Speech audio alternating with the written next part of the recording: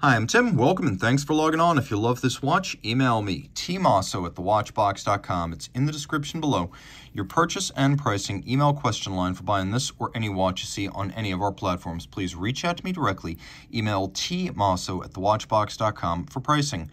Today, we're discussing a model that was made in 10 pieces. This example sold in 2020.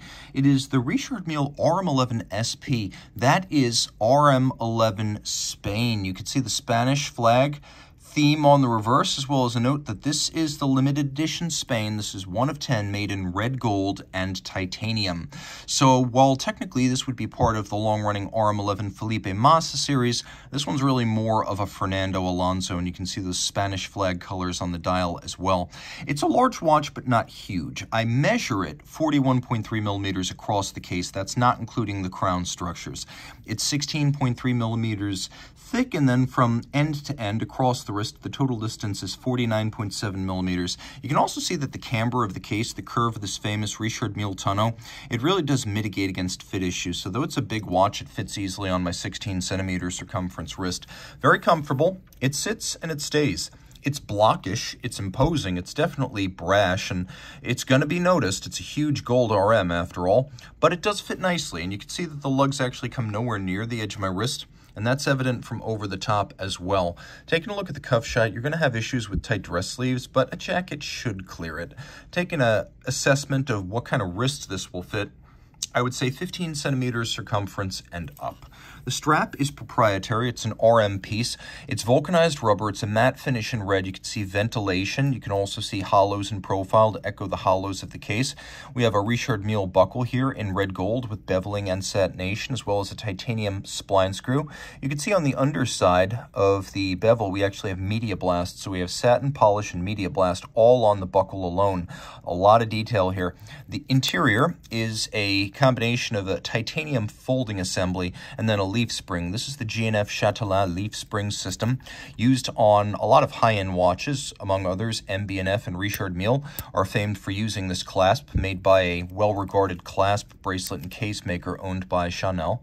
We also have a case that is made of rose gold and titanium, and I'm not sure we need to know that this is titanium in text form. I think most people would already understand that, but Richard Mille loves to advertise features. For example, do you want to reset and restart your chronograph without first stopping? Here's your flyback. Do you wish to stop and start?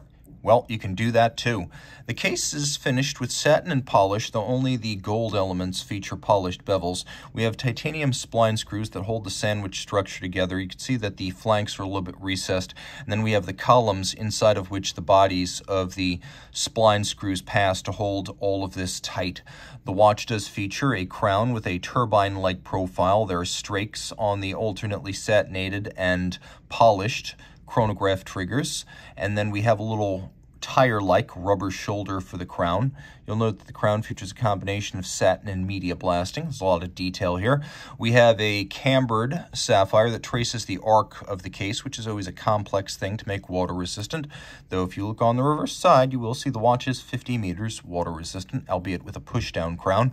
There's a second sapphire underneath the first one, and on that second sapphire that sits below, we have the printing of the chronograph scales, the frame for the date, and then the individual numerals. Outboard, there's a carbon fiber flange that holds the the luminescent indices, and that flange also features a tachymeter, which can be used with the chronograph to gauge the speed of an object, such as a race car over a kilometer. We'll do a quick lume shot so you can get a sense of how the watch looks in the dark maybe not exhaustively lumed, but you do have chronograph seconds. You do have the chronograph subregisters. You have the hours and you have the minutes. Now, the watch is an annual calendar flyback chronograph, so the flyback is self-evident.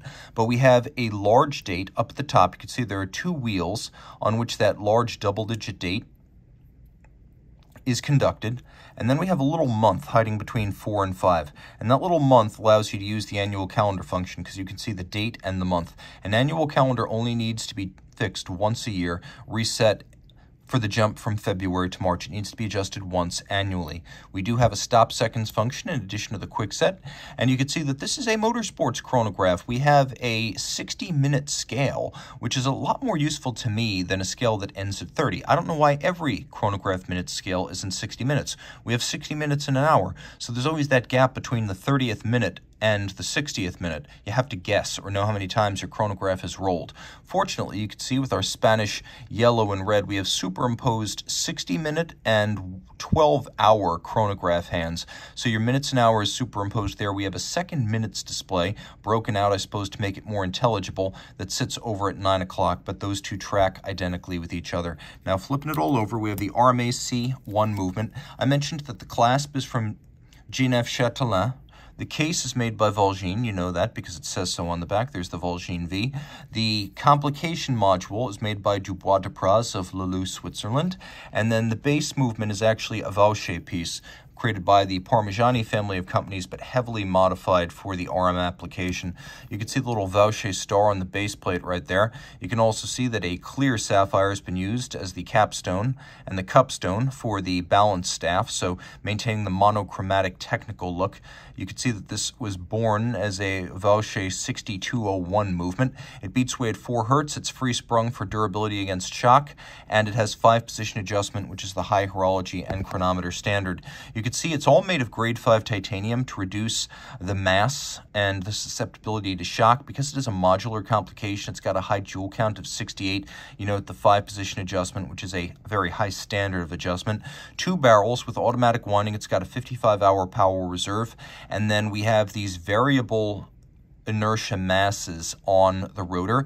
And so depending on your level of activity, very active, completely sedentary, somewhere in between, your RM watchmaker can make adjustments here to change the winding efficiency and the speed and efficiency with which the watch will wind that 55-hour power reserve. So you can tailor the system to reduce the wear and tear.